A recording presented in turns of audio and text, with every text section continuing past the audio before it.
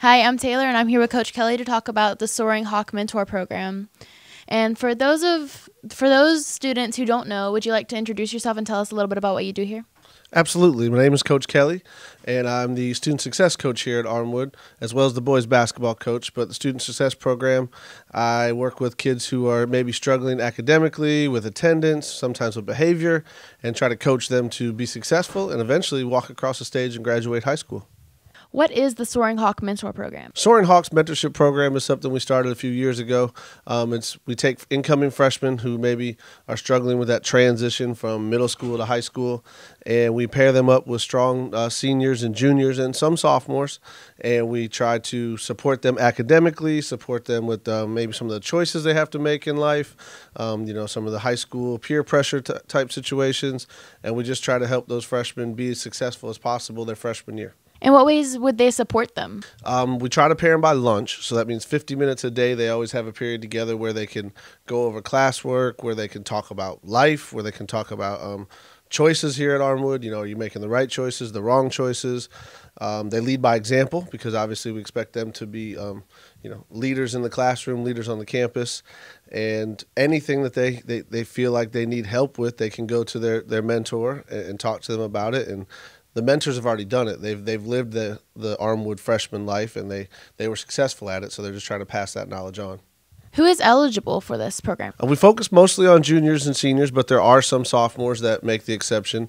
Um, we, we, prefer a 2.5 GPA or higher.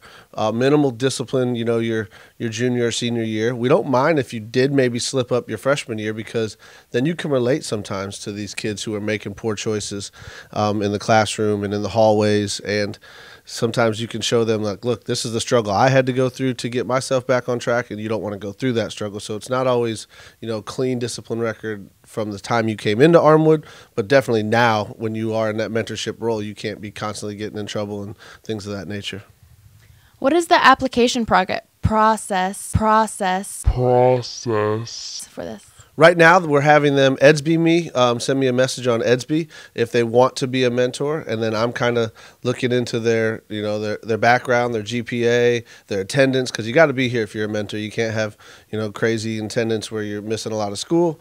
So I look into it, and then I e- I hit them back or email them back and say that, you know, yes, we want you as a mentor, or no, unfortunately, you don't meet the criteria.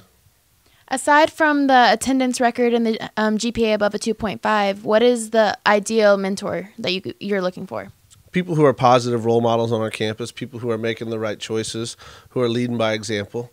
Um, so, like we said, obviously GPA, attendance, um, low behavior, but just kids who we enjoy having on campus and that you know are going to show them the right way to you know be an Armwood Hawk. What do the mentors have to gain from this, from mentoring a freshman? Good question. Mentors do get an hour of community service a week. Uh, I know it doesn't sound like a lot, but if you think about every week that you're in school, you get one hour of community service by the time it's graduation time or the end of the year. If you're a junior or sophomore, you, you've accumulated quite a few hours of community service obviously when you're applying for college you can put on your you know your application that you were part of a mentorship program at armwood so it looks good. Um, letters of recommendation from myself and other um, you know administrators on, on campus. And so not only are you giving back to armwood with that that feels good too knowing that you're giving back and making a difference and leaving uh, a legacy but then you also are earning those community service hours and you know helping you be more attractive to colleges during that application process. All right. Thank you so much coach kelly Thank you.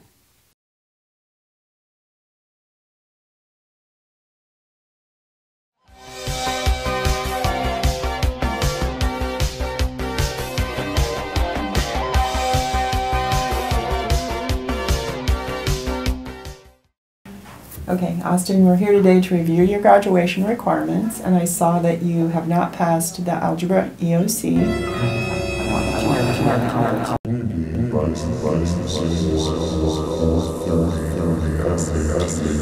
So we'll be taking that test soon on it so we can say that you've passed that graduation benchmark. Okay. Hey, what you doing? Studying for the PSATs. Why? That doesn't even matter. It does matter because if I get a 430 on the PSATs, I don't have to retake my Algebra 1 EOC. For real? For real? For real.